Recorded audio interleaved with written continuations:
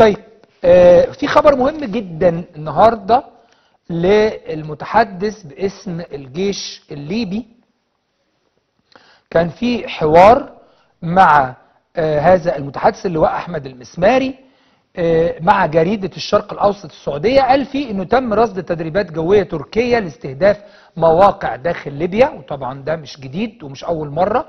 وقال إن تركيا بتهدد دايما باستخدام القوة المفرطة ضد القوات المسلحة الليبية ورصدنا إن في مجموعات من الطائرات عملت محاكاة استهداف مواقع داخل الأراضي الليبية. وهذه المناورة كانت في إقليم طرابلس البحري شاركت بها أربع طائرات مع طائرة تزود بالوقود وقال إن قوات تركيا برية شاركت في هجوم كبير شنته قوات حكومة الوفاء على مدينة ترهونة حكومة الوفاء دي حكومة المفروض إنها ليبية وعشان كده النهاردة المشير خليفة حفتر قائد الجيش الليبي أعلن موت اتفاق السخيرات اللي هو كان بي بيقسم السلطة ما بين الجيش وما بين حكومة الوفاء.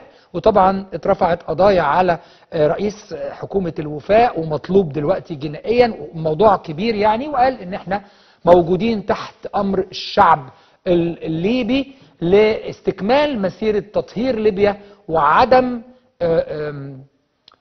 يعني التوافق مع أهداف لخونة أو لناس بتلعب من بره ليبيا زي تركيا وغيرها. يعني ده المقصود من الكلام.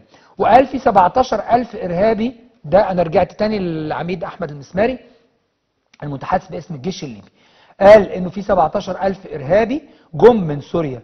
لليبيا وقال إنه الهجوم اللي شاركت فيه قوات برية تركيا ده ده كان الحكومة حكومة الوفاء شنت هذا الهجوم على مدينة ترهونة جنوب شرق طرابلس وكان الهجوم من سبع محاور في عملية شاملة اشترك فيها طائرات مسيرة تركية وقوات برية.